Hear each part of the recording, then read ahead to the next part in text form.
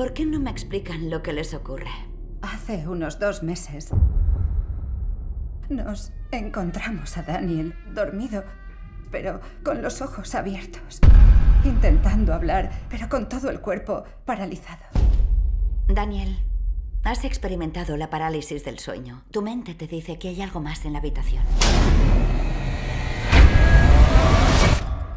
Está todo aquí, cielo.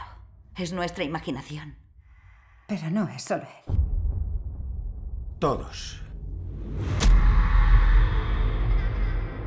Dormiréis aquí con vuestros padres para que estéis bien y a salvo, ¿vale?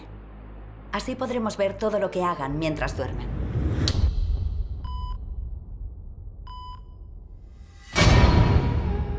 Había algo en la habitación. Y sé que no era un sueño.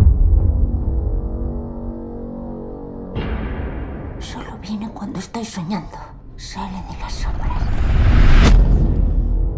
Un demonio que ha existido desde que el hombre aprendió a soñar. Siempre lo paraliza mientras duerme, antes de apoderarse de él.